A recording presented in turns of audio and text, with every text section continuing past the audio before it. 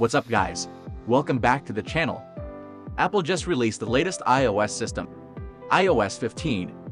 And I bet you just can't wait to upgrade to iOS 15 now. But some of you may found out that when you tap on software update, it's just saying your iOS is up to date. And you're pretty sure that your device is still available for an iOS 15 update. If you don't, check out this info now showing. So in today's video I'm to show you how to fix this issue and update your iPhone to iOS 15 successfully. Now let's jump right in. If you're running an iOS 15 beta version right now, you probably can't get the formal iOS 15 notification. So just go to General and Settings and find Profile. And remove the profile then restart your device. When it boots, try again. The second method is to check out your Wi-Fi status.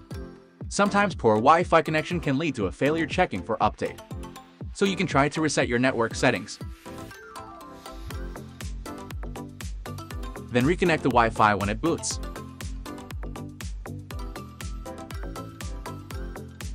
Also consider changing to another available Wi-Fi if you have trouble using the current one. That may work too. You can also check out the apps using wireless LAN and mobile data.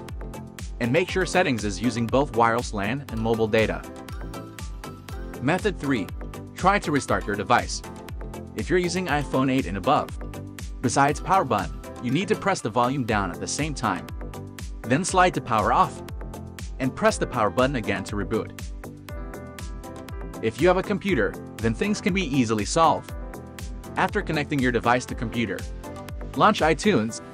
On iTunes, click Check for Update. And iTunes will update your iPhone to iOS 15. Very easy. You just need to wait for the update process to be completed.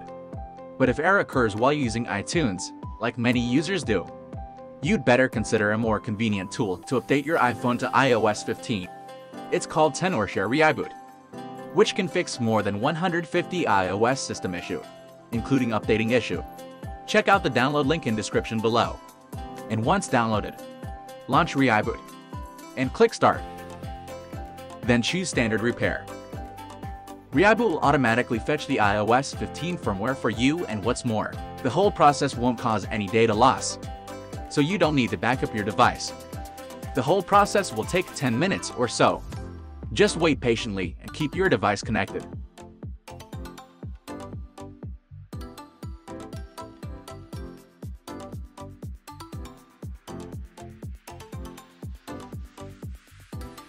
When you see the brand new holo screen showing on your device, that means your device has updated to iOS 15 successfully.